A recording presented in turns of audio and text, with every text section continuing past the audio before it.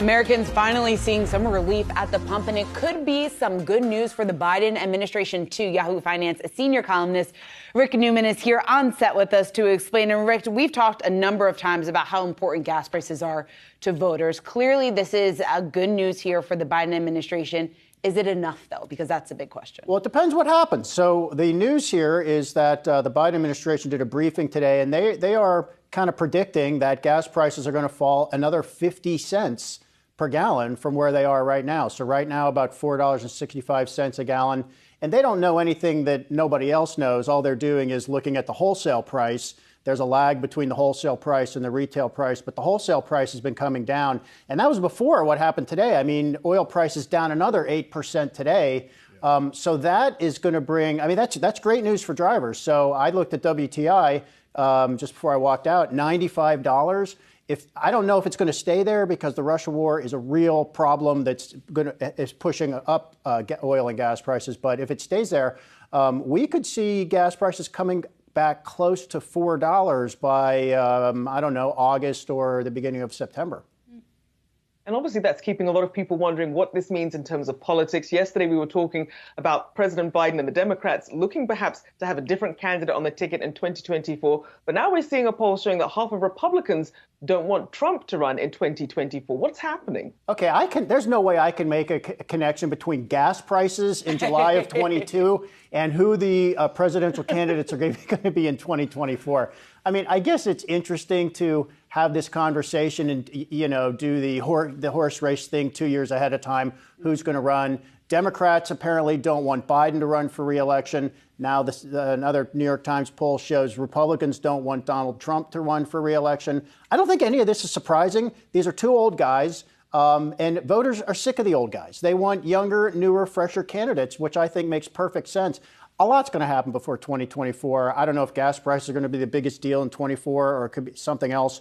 Um, we got to get this war in Ukraine finished uh, before I think we get to talking about that. You know, I, I thought the headline was a little deceiving in that New York Times piece because, yes, 49% of Republicans don't want President Trump to run, but he is still the leader. He is still the overwhelming favorite for the GOP nomination 49 25 against Rick DeSantis. So, yes, some say uh, that people are tired of him, but he is easily the front runner for the nomination of 24. But I want to circle back to the call that the White House had about inflation. Presumably, is that priming the pump for a bad number on yeah. inflation overall? Hey, look, gas prices are coming down yes. when we get hit with an 8.8 tomorrow. Yeah, uh, that's exactly right. Now, they did say on this briefing, we have not seen the inflation report. Uh, we don't know what's, what it's going to be. I take them at their word on that. Um, but uh, economists are saying it could be higher still than we saw in the last reading, which was 8.6% infl- annual inflation, now you're right, a good, a good prediction is 8.8%.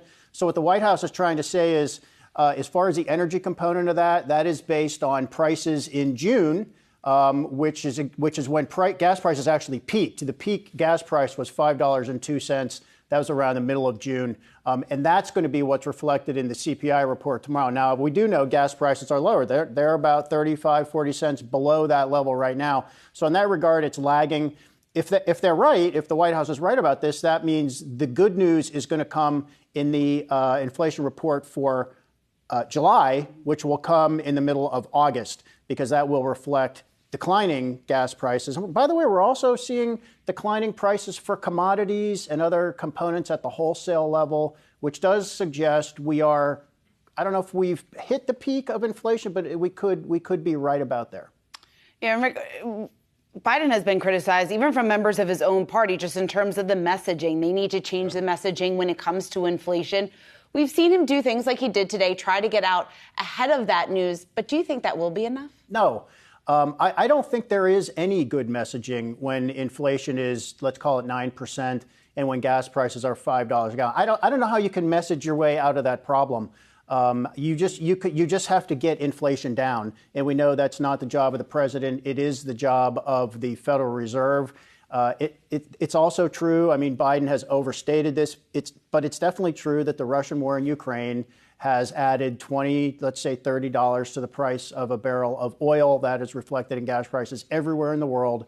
Um, I mean, I've made the case that the one thing Biden could do that would most help um, bring oil prices down by a lot is beat the Russians on the battlefield in Ukraine. End that war as fast as you can, but that, you can't do that fast either. So um, there's just not a lot Biden can do. I think what Democrats want is they want him to be more intense. They want him to be more of a fighter.